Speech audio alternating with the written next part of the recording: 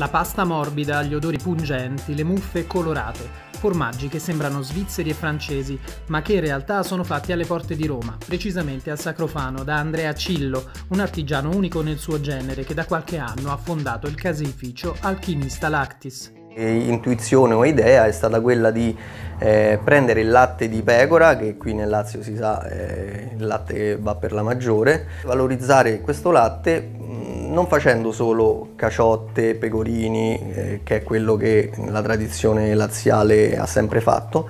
ma di mh, mm, spingermi su lavorazioni eh, che non sono della tradizione, come delle lattiche di pecora, come delle croste lavate, croste fiorite, sempre al latte di pecora, e delle caciotte un po' più robuste, un po' più con un sapore più accentuato.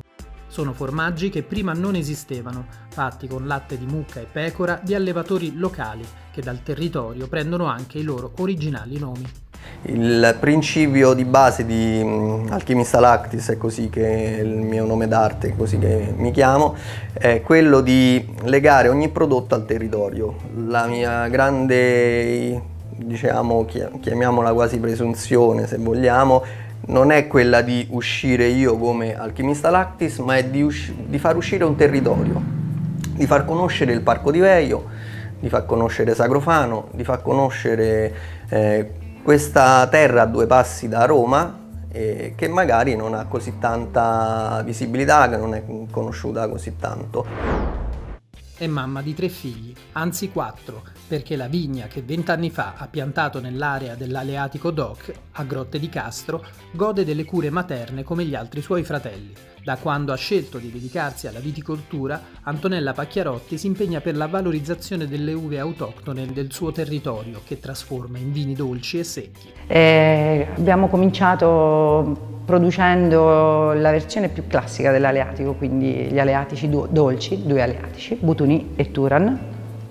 Turan è peraltro anche il nome che gli Etruschi danno a Venere, quindi è un omaggio alla femminilità e anche alla mia zona che è terra etrusca. E poi nel tempo, diciamo, ovviamente mi sono resa conto che l'azienda non si poteva sostenere solo sulla produzione di vini dolci, il mercato richiedeva altro. E siccome l'aleatico, mio padre mi diceva sempre che con l'aleatico ci si aggiustavano un po' tutti i vini perché li faceva diventare più accattivanti, ho pensato di poterli vinificare secchi.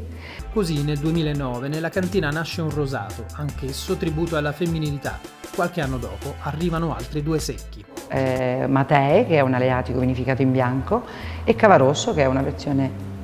classica di un'uva rossa. Eh, per ultimo nel 2015 si è unito alla famiglia un altro vino che è un rosato ma ha un colore diciamo mh, mm, particolare. Il nome è ramatico proprio perché assume questo colore così rame.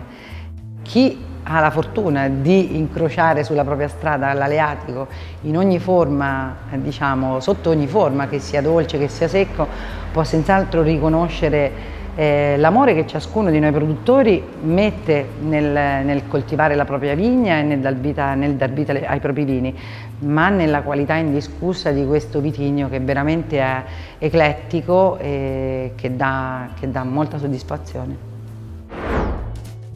Nel suolo di argilla e sabbia delle campagne a ovest dell'Alto Lazio affondano le radici molte delle famiglie assegnatarie di terreni agricoli durante la riforma agraria del secolo scorso nuclei che ancora oggi si tramandano il faticoso onere di lavorare i campi, come la famiglia di Nazareno Giorgini, che in queste terre di grano e cereali ha scelto di produrre olio e vino. Il nostro suolo qui nella nostra azienda praticamente è composto per la maggior parte da terreno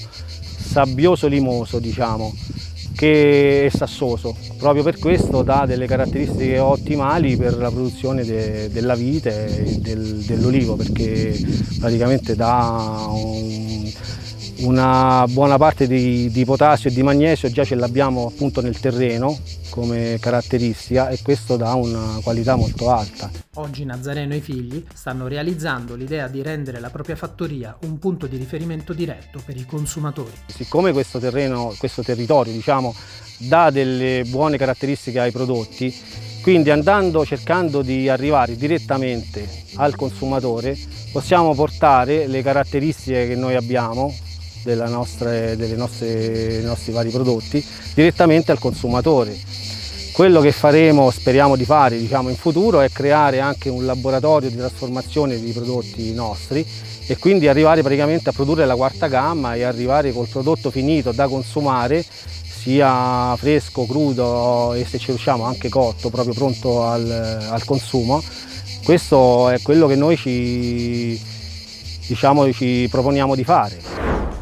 Il presidente del CDA di Arzia, Antonio Rosati, rassegnerà a breve le dimissioni in quanto è stato nominato il 20 luglio scorso amministratore delegato di Euro SPA. Ringrazio con affetto il presidente della Regione Lazio Nicola Zingaretti per la fiducia dimostrata e confermata negli anni nei miei confronti, ha scritto in una nota a Rosati. Sono stati anni impegnativi e straordinari dove abbiamo raggiunto importanti traguardi, dal bando delle terre pubbliche ai giovani al risanamento dell'enoteca regionale fino alla creazione dell'Accademia del Cibo Arzial che aprirà in autunno autunno al Wegil.